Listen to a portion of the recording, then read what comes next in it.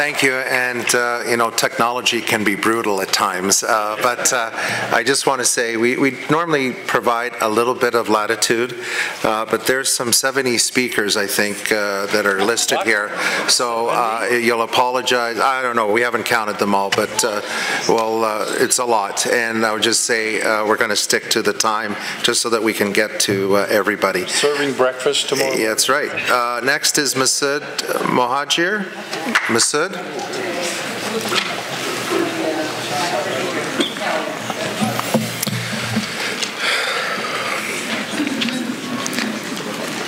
Sorry, I'm going to have to wear these purple glasses because I've got mine at home.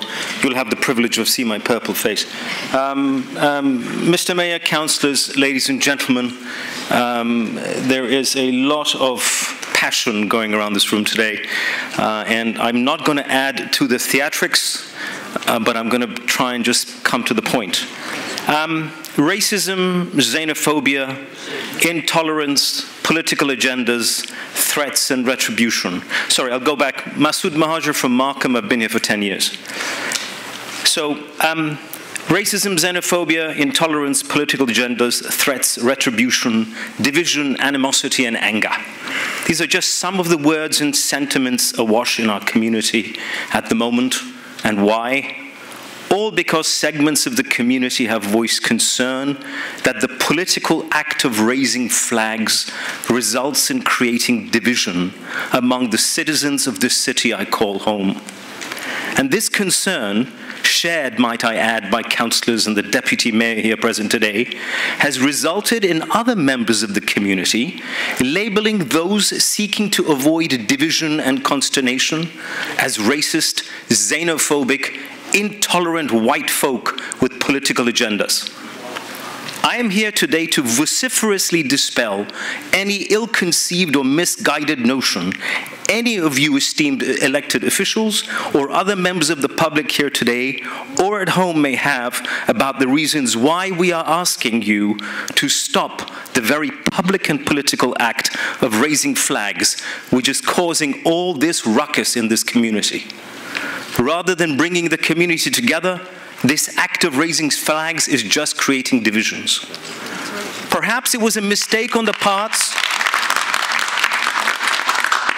Perhaps it was a mistake on the part of some members of the community advocating or calling for the cessation of this practice by highlighting the human rights abuses of certain nations as reason enough not to honor them by raising their flags.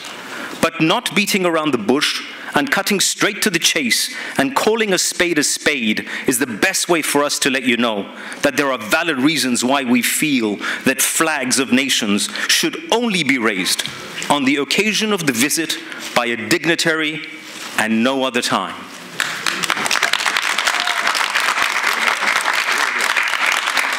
We celebrate diversity here in Markham.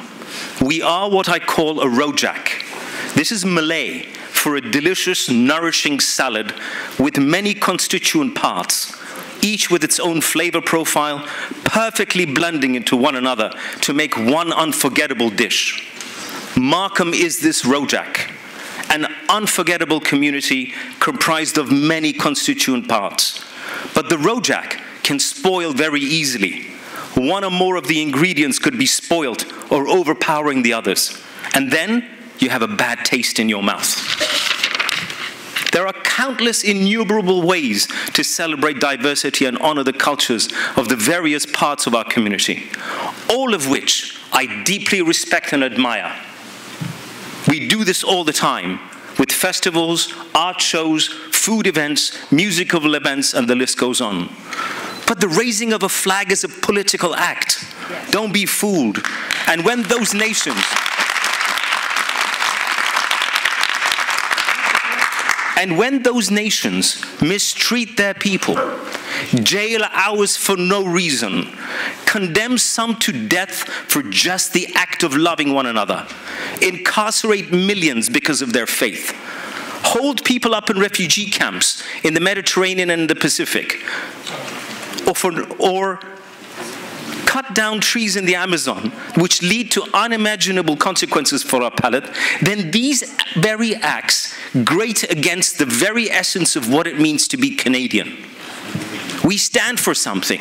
We stand for human rights. We stand for dignity. We stand for the respect of the rights of people to love one another. We stand for the environment. And if we simply pay lip service to these ideals and do not stand up for something, we are absolutely nothing and just bystanders. Raising flags is divisive and creates problems. Look around you today. See the tensions this has caused, and all for nothing. We honor our fellow citizens.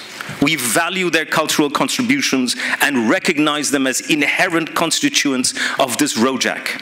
I proudly call this place my home. But when it comes to standing up for what it means to be Canadian and my respect for human rights, I stand up for what is right. And today, I'm standing before you to ask you to